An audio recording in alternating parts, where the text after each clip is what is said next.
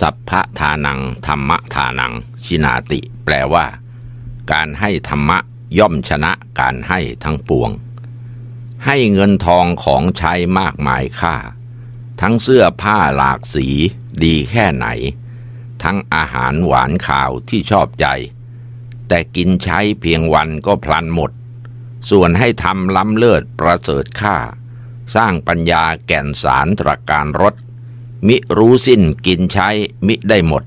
ธรรมรสแม้น้อยอร่อยนาน พระพิพัฒน์ปริยัตยานุกูล กวีจังหวัดระยอง และกวีระดับชาติประพันธ์ครับ ท่านผู้ฟังวันนี้จะขอนำเอาชีวประวัติของคนคนหนึ่ง ซึ่งอดีตเคยเป็นเสือร้ายใจฉกาจปราศจากศีลและธรรม แต่ ในที่สุดก็กลับกลายเป็นพระภิกษุที่ผู้คนเคารพนับถือตลอดทั้งภาคอีสานเอามาเล่าให้ท่านได้ฟังกันเพื่อให้ท่านทั้งหลาย ได้เห็นผลการปฏิบัติธรรมนะในโฮมนี่เกิดที่บ้านแหลมไผ่ตำบลทุ่งโพอำเภอกระบินบุรี จังหวัดปราจีนบุรี โดยที่ตอนนั้นได้รับการศึกษาวิชาการต่างๆ เฉพาะอย่างยิ่งความรู้ในทางศีลธรรมนี่ค่อนข้างน้อย ฉะนั้นจิตใจของแกก็เลยหนักไปข้างเป็นพานเกเรมาตั้งแต่เป็นเด็ก เมื่อตอนมีอายุได้ 13 ปีก็ฆ่าเพื่อนบ้านตายไปคนหนึ่ง ซึ่งเหตุผลถ้าจะกล่าวตามความรู้สึกขณะนี้ก็เป็นเรื่องเล็กน้อย ไม่น่าจะเป็นไปได้ถึงเพียงนั้น เมื่อมีการกระทำผิดเกิดขึ้นเจ้าหน้าที่ก็จับตัวในโฮมไปทำการไต่สวน แต่โดยที่อายุ ยังอยู่ในฐานะเป็นผู้เยาว์ก็เลยรอดพ้นจากอาญาแผ่นดินมาได้แทนที่ในโฮมจะรู้สึกเกรงกลัวต่ออาญาแผ่นดิน ระวังตนไม่ทำผิดต่อไป กลับมีความรู้สึกฮึกเหิมในใจเป็นอย่างยิ่ง อ่า ก็เป็นอันว่าในโฮมได้เริ่มเบนวิถีชีวิตออกจากทางของสุภาพชนตั้งแต่นั้นมา ชอบทำตนเป็นคนพานเกเรยิ่งขึ้น มีการทะเลาะวิวาทตีรันฟันแทงกับคนอื่นอยู่เรื่อยๆ จนต่อมาเมื่ออายุ 16 ปีก็ฆ่าคนตายไปอีกคนหนึ่ง เมื่อไปล่าเนื้อในป่าด้วยกัน คนคนนี้ในโฮมบอกว่ายิงด้วยจงใจจะฆ่าให้ตายจริง ๆ และด้วยความโกรธพอประมาณเท่านั้น เมื่อเจ้าหน้าที่มาจับตัวนายโฮมก็หนีหลบไปอยู่ในป่า ต่อจากนั้นอาชีพของนายโฮมขั้นแรกก็เพียงเล็กลักเล็ก ขโมยน้อยเขากินไปเรื่อยๆเมื่อเกิดความเคยชินในความประพฤติดังกล่าวนี้อยู่เสมอแล้ว ในที่สุดก็หันเข้าชุมนุมพักพวกทำการปล้นสะดมอย่างอุกอาจจนชื่อเสียงในโฮมลือกระชอนไปทั่วเขตอำเภอต่างๆ ในจังหวัดปราจีนบุรีเป็นอันว่า แกได้ดำเนินวิถีชีวิตเป็นโจรอย่างเต็มที่แล้ว เจ้าพนักงานก็ยกกำลังออกทำการปราบปราม แต่ธรรมดาโจรก็ต้องมีไหวพริบในการหลบหนี ได้อาศัยป่าและภูเขาเป็นที่กำบังซ่อนเร้น ส่วนเรื่องอาหารการกินนั้นตกมาขั้นนี้ ไม่เป็นของยาก เพราะว่าเมื่อเข้าบ้านไหนต้องการอะไรก็ได้ทั้งนั้นไม่มีการขัดข้องแต่อย่างใดเลย โดยที่ชาวบ้านทั้งหลายเหล่านั้นมีความกลัวตายด้วยกันทั้งสิ้น และถ้าหากว่าผู้ใดขัดขืน หรือแสดงอาการว่าเป็นหูเป็นตาให้กับเจ้าหน้าที่แล้ว ก็จะประหารชีวิตเสีย ในโฮมฆ่าคนในระยะนี้ทั้งที่แสดงอาการขัดขืนและทั้งที่ทำการปล้นตรงๆเนี่ยประมาณ 11 คน การฆ่าคนของในโฮมแต่ละรายในสมัยนั้นเป็นการกระทำอย่างง่ายๆ และดูเหมือนไม่มีอะไรเกิดขึ้นเลย เพราะสถานที่เกิดเหตุแต่ละรายก็อยู่ห่างไกลกับตำรวจมาก กว่าตำรวจจะทราบเรื่องและยกกำลังมาในโฮมก็ไปเสียไหนๆแล้ว และกำลังตำรวจสมัยนั้นก็ต่างกว่าตำรวจสมัยนี้มาก แต่อย่างไรก็ตามทางเจ้าหน้าที่ก็ได้พยายามสืบสวนติดตามในโฮมอยู่เสมอ ต่อมาเขากลับมายังบ้านเดิม พอมาถึงก็ล้มป่วยลง เพราะถูกยาพิษ ก็ได้หยุดพักรักษาตัวอยู่เป็นเวลาไม่นาน พอจวนจะหายป่วยก็พอดีเจ้าหน้าที่มาทำการล้อมจับ ในโฮมก็ตั้งใจสู้ตายและเชื่อว่าตัวเองต้องตายแน่ ในระหว่างต่อสู้กันนั้น ในโฮมก็ยิงเจ้าหน้าที่ตายหนึ่งคน เสร็จแล้วตัวเขาก็สลบไป ก็เลยถูกเจ้าหน้าที่จับได้ก็นำตัวมารักษาที่เรือนจำจังหวัดปราจีนบุรี เมื่อหายป่วยแล้วก็ได้ถูกนำตัวไปสอบสวนและส่งไปตามจังหวัดต่างๆ ในท้องที่ที่เกิดเหตุ แล้วก็มีโจทย์ร้องเรียนกล่าวโทษเพื่อดำเนินคดีต่อไป บรรดาโจทย์ที่ร้องเรียนกล่าวโทษในโฮมไว้นั้นมีจำนวนมากมาย ในเวลานั้นศาลจังหวัดปราจีนบุรีได้ตัดสินลงโทษ ในโฮมไปแล้วหนึ่งคดีเป็นโทษ 20 ปี บรรดาโจทย์ที่ร้องเรียนกล่าวโทษในโฮมไว้ ได้ถอนคดีของตนเองเสียก็หลายราย ที่เจ้าพนักงานเห็นว่าหลักฐานไม่สมบูรณ์ สั่งไม่ฟ้องเสียก็มาก ที่เจ้าหน้าที่ฟ้องศาลแล้ว ในโฮมต่อสู้คดีจนหลุดมาได้ ก็มีจากนั้นเจ้าหน้าที่ได้ส่งตัวในโฮมไปดำเนินคดีที่จังหวัดนครราชสีมาศาลนี้ซึ่งศาลเนี่ยได้ตัดสินประหารชีวิตในโฮมรวมเป็นโทษที่ ในโฮมได้รับตามคำพิพากษาของศาลก็คือประหารชีวิตกับจำคุก 20 ปี ในระหว่างนั้นเจ้าหน้าที่ได้ส่งตัวในโฮมมาอยู่ที่ห้องประหารเรือนจำกลางบางขวาง ส่วนคดีอื่นๆที่ยังไม่ได้ดำเนินการก็ได้รออยู่ เมื่อคดีทั้งสองนั้นถึงที่สุดแล้วเจ้าหน้าที่ก็เลยงดคดีอื่น ๆ เสียไม่ได้ดำเนินการต่อไป เว้นแต่คดีที่ยังอยู่ในระหว่างพิจารณาของศาลเท่านั้น แต่ในระหว่างนั้นเจ้าหน้าที่ก็ยังไม่ได้นำตัวในโฮมไปประหารชีวิต เพราะยังมีคดีที่กำลังอยู่ในระหว่างพิจารณาของศาลอีกหนึ่งคดี ประจวบกับเวลานั้นพระบาทสมเด็จพระพุทธเจ้าหลวงรัชกาลที่ห้าได้ทรงพระกรุณาโปรดเกล้าให้ลดโทษผู้ต้องหาพระราชอาญาอยู่ในเรือนจำต่างๆ คือนักโทษประหารชีวิตให้ลดเหลือตลอดชีวิต โทษ 20 ปีให้ลดเหลือ 16 ปี เป็นอันว่าในโฮมได้ลดโทษลงแล้วก็ได้ย้ายออกมาจากห้องประหาร ต่อมาเจ้าพนักงานเรือนจำก็ใช้ให้ในโฮมทำงานต่างๆ เช่นเดียวกับนักโทษคนอื่นๆนายโฮมก็พยายามขัดขืนและก่อความไม่สงบต่างๆ ตามนิสัยสันดานก็เลยถูกตีตรวนใหญ่ แล้วก็ถูกฟ้องเพิ่มโทษอยู่เรื่อยๆ รวมโทษที่นายโฮมได้รับเพิ่มขึ้นในเรือนจำอีก 84 ปี รวมกับนักโทษนอกเรือนจำ เป็นตลอดชีวิตกับ100ปี ต่อมาในโฮมได้ฆ่าเพื่อนนักโทษในเรือนจำตายอีกคนหนึ่ง แต่คดีนี้ในโฮมได้เพื่อนนักโทษที่กำลังพ้นโทษคนหนึ่งเป็นพยาน โดยหาว่าผู้ตายไล่แทงในโฮมก่อนในโฮมพยายามวิ่งหนี ต่อเมื่อจนมุมหนีไม่พ้นแล้ว ก็เลยแย่งมีดจากมือผู้ตายแทงผู้ตายดังกล่าว เป็นอันว่าในโฮมพ้นคดีไปโดยไม่ต้องถูกเพิ่มโทษสำหรับคดีนี้ จากนั้นนายโฮมก็ถูกส่งไปแก้คดีที่จังหวัดนครราชสีมาอีก จึงเป็นโอกาส ให้ในโฮมรวบรวมเพื่อนนักโทษได้ 18 คนทำการแหกคุกในคืนวันหนึ่ง จับพัสดีเรือนจำมัดและแทงแต่ไม่ตาย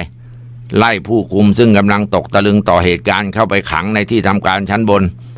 ต่างคนได้ยึดเอาอาวุธในห้องที่ทำการที่มีปืนยาวอยู่ 16 กระบอก ปืนสั้นอีกหนึ่งกระบอก ช่วยกันหากุญแจไขตรวนเปิดประตูออกไป เมื่อความทราบถึงตำรวจป้อมที่รักษาการอยู่ได้ยิงป้องกัน แต่ไม่มีผู้ใดเป็นอันตรายเลย ได้พากันหนีไปได้ด้วยความปลอดภัยทุกคน เมื่อออกมาสู่อิสระภาพแล้วนายโฮมก็ปรึกษาเพื่อนร่วมตายว่า พวกเราในยังไม่มีอาวุธครบมือกัน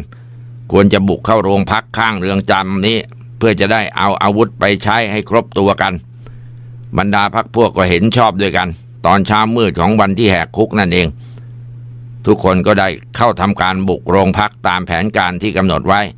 จับหัวหน้าโรงพักได้ ยิงตำรวจตายด้วยมือตัวเองสองคน และพักพวกได้ยิงตำรวจตายอีกคนหนึ่งเสร็จแล้วก็เก็บอาวุธและสิ่งของมีค่าที่พอจะเอาไปได้ทั้งหมด การที่นายโฮมและพักพวกทำการได้สำเร็จโดยง่ายดายก็เพราะตำรวจไม่รู้ตัว พวกนายโฮมก็เลยพากันหลบหนีไปด้วยความปลอดภัยอีกครั้งหนึ่งสำหรับตัวนายโฮมเองนั้น ทราบว่าทางราชการประกาศจับตายแล้ว ต่อมาในโฮมพาพวกลงมาจากเขาใหญ่ในเขตจังหวัดนครราชสีมา ตั้งใจจะมาปราบตำรวจพวกนี้ แต่ได้ถูกเจ้าหน้าที่ล้อมจับได้ต่อสู้กันจนในโฮมสลบไป มารู้สึกตัวก็ต่อเมื่อเจ้าหน้าที่ได้ควบคุมตัวไว้แน่นหนาแล้ว ส่วนลูกน้องของในโฮมก็ได้ทราบในภายหลังว่าตายไปเสียหลายคนที่หลบหนีไปได้ก็มีบ้าง ในโฮมถูกส่งตัวมาที่เรือนจำและเจ้าหน้าที่ได้ทำการรักษาพยาบาลอยู่เป็นเวลานานถึงได้หาย เมื่อหายป่วยแล้วจึงได้ถูกดำเนินคดีต่อไป ในที่สุดศาลจังหวัดนครราชสีมาได้ตัดสินจำคุก รวมทั้งโทษเพิ่มอีกเป็นหกปีหกเดือน เจ้าหน้าที่ได้ส่งตัวกลับมาอยู่ที่เรือนจำบางขวางอีกในโฮมก็ทอดอะไรในชีวิตว่าคงไม่มีโอกาสได้ออกมาเห็นโลกภายนอกอีกเป็นแน่แท้ ต่อมาพระเดชพระคุณท่านเจ้าคุณพระพิมลธรรม และท่านเจ้าคุณพระอุดมวิชาวิชายานเถระ ได้เปิดการอบรมการปฏิบัติวิปัสสนากรรมฐานขึ้นที่เรือนเรือนจำกลางบางขวาง ในขั้นแรกในโฮมก็ไม่เชื่อ แล้วก็ไม่คิดจะเข้าปฏิบัติเลย แต่เมื่อได้ฟังพระเดชพระคุณท่านอาจารย์สั่งสอนผู้ปฏิบัติบ่อยๆเข้า และได้เห็นกิริยาอาการของผู้ที่ได้ปฏิบัติผ่านไปแล้ว เปลี่ยนแปลงไปจากที่เคยเป็นมา ก็เลยรู้สึกเกิดความศรัทธาเลื่อมใสอยากจะลองปฏิบัติดูบ้าง เมื่อได้เข้าปฏิบัติแล้วก็รู้สึกว่าได้ผลเป็นที่น่าพอใจ อ่า ในโฮมไม่สามารถจะกล่าวอะไรได้มาก เพราะว่าพื้นความรู้ของตัวเองมีน้อย จะทำอย่างไรอย่างไรก็ไม่สามารถถ่ายความรู้สึกที่มีอยู่ให้ท่านผู้อื่นทราบ เท่าที่ปรากฏอยู่ในใจได้ ชีวิตของเขาเป็นชีวิตที่ใคร ๆ ก็เห็นว่า เป็นชีวิตที่เต็มด้วยความโหดร้ายทารุณ เป็นชีวิตที่ญาติพี่น้องและสังคมพึงรังเกียจเป็นที่สุดแม้กระทั่งตัวเอง บางขณะที่ความรู้สึกผิดชอบปรากฏแก่จิตใจตัวเองก็รู้สึกตัวเองเป็นอย่างมาก แต่หลังจากการวิปัสสนากรรมฐานจนได้ผลเป็นที่น่าพอใจแล้ว กลับมีความรู้สึกปราบปลื้มที่ได้ฆ่าคนมามาก แต่ปลื้มใจเพราะกรรมชั่วอ่าของตัวเองเป็นเหตุ ให้พบกับ การปฏิบัติวิปัสสนากรรมฐาน จนรู้สึกว่าไม่เสียทีที่ได้เกิดมาเป็นมนุษย์พบพระพุทธศาสนา ถ้าหากว่าเราไม่ได้ประพฤติชั่วถึงขนาดนั้น เราก็คงต้องทำมาหากินอยู่ตามภูมิลำนาวเดิม ซึ่งอาจจะไม่ได้มีโอกาสปฏิบัติวิปัสสนากรรมฐานก็ได้เอาคิดอย่างนั้น เดชะบารมีแห่งการวิปัสสนากรรมฐาน ประจวบกับโทษของตัวเองที่เหลือจำนวนลดน้อยลง ขณะที่รัฐบาลทำการฉลอง 25 พุทธศตวรรษในโฮมก็ได้รับพระราชทานอภัยโทษปลดปล่อยออกมาพร้อมกับนักโทษคนอื่น ๆ อีกเป็นจำนวนมาก ซึ่งในโฮมก็ตั้งความปรารถนาไว้ว่าจะถวายชีวิตในพระพุทธศาสนา คือจะได้ทำการอุปสมบทถือเพศเป็นพระภิกษุไปตลอดชีวิต บรรดาญาติพี่น้องเพื่อนบ้านที่พากันรังเกียจนั้น เมื่อได้ทราบความตั้งใจของนายโฮมก็พากันมี มีกล่าวความยินดีแล้วก็อนุโมทนาด้วยกันทั้งสิ้นนายโฮมก็เลยมากราบน้ำมัสการลาพระเดชพระคุณท่านเจ้าคุณอาจารย์ และเมื่อกลับถึงบ้านก็ได้ทำการอุปสมบทโดยไม่ชักช้า เป็นนั้นว่านายโฮมได้เลิกจากความเป็นโจรผู้ร้าย มอบกายถวายชีวิตไว้กับพระพุทธศาสนาแล้ว ทั้งนี้ก็เพราะวิปัสสนากรรมฐานเป็นยาขนานเอกกำจัดความโลภหลงโกรธ ของนายโฮมให้ลดน้อยถอยลงไปตามส่วนแห่งการปฏิบัติ นอกจากวิปัสสนากรรมฐานแล้วไม่มีอะไรเลยที่จะปฏิวัติจิตใจของมนุษย์ที่ชั่วร้ายให้กลับกลายเป็นดีได้ ที่ดีอยู่แล้วก็ให้ดียิ่งยิ่งขึ้นไปอีก เพราะฉะนั้นจึงขอเชิญชวนมวลพุทธศาสนิกชนครับ ให้พากันลงมือปฏิบัติเสียเถอะจะเกิดผลอย่างน่าอัศจรรย์เป็นแน่แท้ แต่ก่อนนี้ในโฮมนี่ไม่ยอมเชื่อเลยว่าบุญบาปนรกสวรรค์มีจริง ระมาเทศ อนุสาสนาจารย์มาสอนจะไม่ยอมฟัง หรือถ้าสอนนานเกิดความรำคาญจะตีกระดานให้หยุดสอน แต่บัดนี้ท่านได้ถวายชีวิตในพระพุทธศาสนา โดยอุปสมบทเป็นพระภิกษุอย่างที่ท่านพูดไว้ครับ ท่านผู้นี้ก็คือในคำภูจันทรสมุทร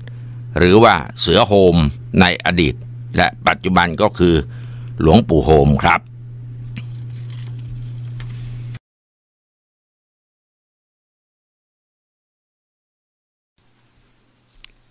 อิทธิปาฏิหาริย์นี่เป็นเรื่องที่เล่าสืบต่อกันมาช้านานแล้ว ตั้งแต่สมัยก่อนพุทธกาลและแม้กระทั่งในสมัยพุทธกาลก็ยังมีกล่าวกันมากมาย อันเป็นเรื่องที่เกิดขึ้นแก่จิตและวิญญาณ เป็นเรื่องที่เกิดขึ้นเกินความรู้ความสามารถของปุถุชนจะพึงทำได้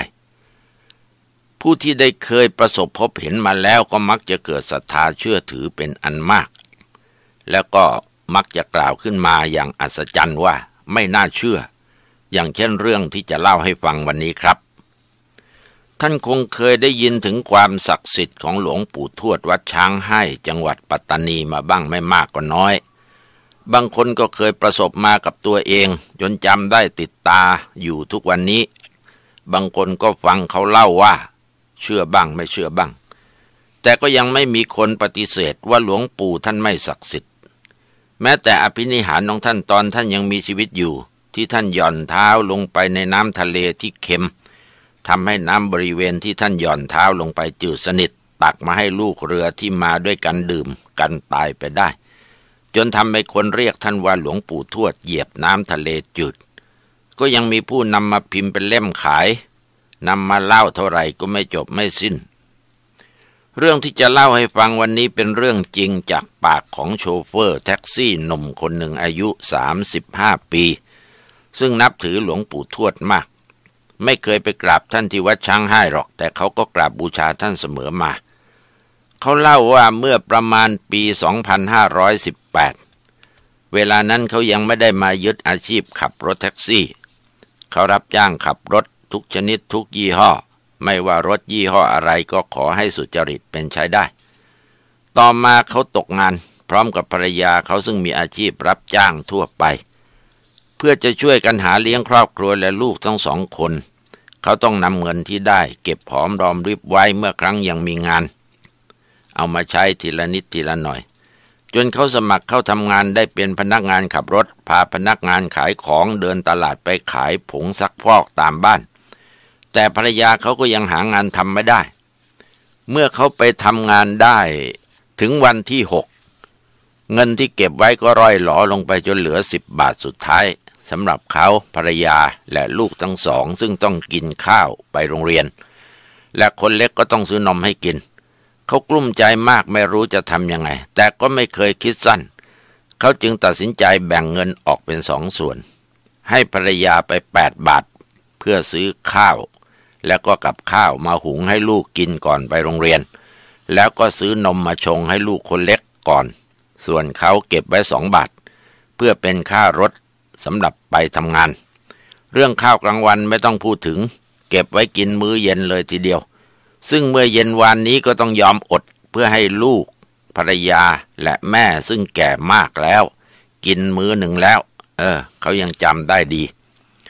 วันนั้นเป็นวันที่ 15 มิถุนายนเวลาบ่าย ขณะที่เขากำลังขับรถพาพนักงานไปขายของตามหน้าที่ เขาก็รู้สึกหิวข้าวมาก จนรู้สึกวิงเวียนไปหมด เมื่อเขาจอดรถให้พนักงานลงไปขายของนั้น เขารู้สึกคล้ายเป็นลมหิวมากจนตาลาย จึงเอาหน้าฟุบไปกับพวงมาลัยรถ แล้วก็นึกถึงหลวงปู่ทวดที่เขานับถือขึ้นมาได้ จึงยกมือไหว้ท่วมหัว แล้วก็ขอว่า หลวงปู่ครับ ผมหิวมากเหลือเกิน ผมอยากจะได้เงินสักสิบบาทเท่านั้นนะครับ เพื่อเอาไปซื้อข้าวกิน จะได้มีแรงทำงานให้เขาต่อไปได้ เมื่อเขาพูดจบแล้วก็ฟุบหน้าต่อไป สักครู่ก็ได้ยินเสียงคนแก่พูด ลูกเอ้ย เงินก็อยู่ใต้ก้นเองไงเนี่ยเขาก็ลุกขึ้นดู แต่ก็ไม่เห็นมี เขาคิดว่าเพราะมันหิวมากก็เลยทำให้หูฝาดก็ก้มหน้าปุ๊บต่อไปใหม่ ก็ได้ยินเสียงเดียวกัน พูดว่าใต้เบาะนั่นไงลูก เขาก็ลุกขึ้นดูอีกก็ไม่เห็นมีก็ก้มหน้าลงอีก คราวนี้ได้ยินอีกก็เฉยเสีย ได้ยินเสียงพูดอีกสองครั้งสามครั้งก็เฉยพอถึงครั้งที่สี่เท่านั้นขณะที่เขาหลับตาอยู่ เขาเห็นหลวงปู่เป็นพระแก่ๆหน้าตาดูท่านเป็นคนดุ ห่มผ้าเหลืองสีฝาด มีแสงสว่างออกมาจากตัวท่านงดงามไปหมด ขณะที่เขาตะลึงมองอยู่นั้น ท่านก็พูดขึ้นอีก ลูกก็หาดีๆสิปู่บอกให้แล้ว เจ้าต้องรู้จักอดทนมันถึงจะสู้กับสิ่งทั้งหลายได้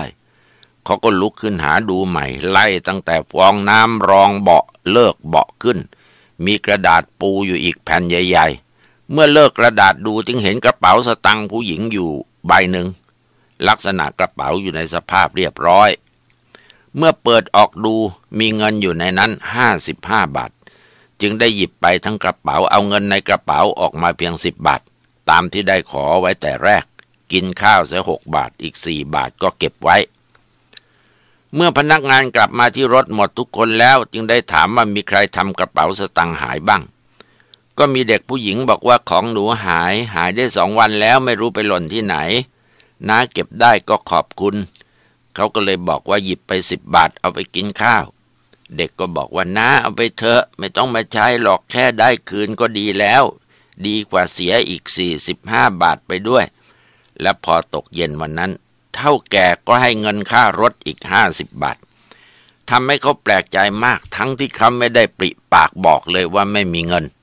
เขาจึงคิดว่าเป็นเพราะอภินิหารของหลวงปู่ที่ได้ช่วยเหลือเขา ทุกวันนี้เขายังบูชาหลวงปู่ทวดอยู่เสมอไม่ได้ขาด เมื่อเสร็จจากภารกิจขับรถ เอารถส่งบ้านเท่าแก่แล้ว เขาก็จะหาเวลานั่งสมาธิทำจิตใจให้สงบถือศีลห้าอยู่เป็นประจำ คราวหนึ่งขณะที่เขานั่งทำสมาธิจนจิตใจสงบดีแล้ว ก็นึกถึงหลวงปู่ทวดขึ้นมา พร้อมกับนึกอยากจะไปเที่ยวสวรรค์บ้าง ก็ได้พบกับหลวงปู่อีก คราวนี้ท่านยิ้ม แล้วก็พูดว่า ถ้าเอ็งอยากไปเที่ยวก็ตามปู่มา เขาก็เดินตามไปเรื่อยๆ จนไปถึงวิมานซึ่งมีสีรุง้ง หลวงปู่ท่านอยู่วิมานสีรุ้งชั้นที่สองสีเหลือง รองจากองค์สมเด็จพระสัมมาสัมพุทธเจ้า เขาก็รู้สึกระยิบระยับตาไปหมดจนตาพร่า ก็ได้ยินเสียงหลวงปู่ท่านพูดว่า เอาละเอ็งมาเท่านี้พอแล้ว เขาจึงได้รู้ว่าจิตกลับมาที่ร่างอย่างเก่า จนรู้สึกเป็นเน็บที่ขา เขายังพูดว่าเขาจะต้องพยายามนั่งสมาธิให้ได้ดียิ่งกว่านี้จะได้ไปเที่ยวไปเห็นอย่างที่คนอื่นๆอีกมากไม่ได้มีโอกาสอย่างเขา เรื่องที่เล่ามาทั้งหมดนี้เป็นเรื่องจริงจากปากคุณสมศักดิ์คนขับแท็กซี่เป็นเรื่องที่แกจำติดหูติดตามมาจนทุกวันนี้แม้เวลาจะล่วงมาหลายปีแล้วก็ตาม เป็นเรื่องอภินิหารของหลวงปู่อีกเรื่องหนึ่งแล้วก็ไม่ใช่มีเพียงครั้งนี้ครั้งเดียว ยังมีอีกหลายครั้งที่หลวงปู่ได้โปรดเขาครับ เวลาหมดแล้วท่านผู้ฟังที่เคารพขอได้รับความขอบพระคุณจากผมอาจารย์ยอด พบกันใหม่วันต่อไปครับ สวัสดีครับ